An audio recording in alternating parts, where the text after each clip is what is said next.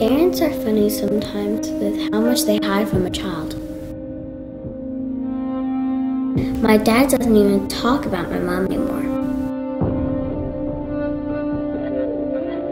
I wish I knew more about her, but I really don't remember that much.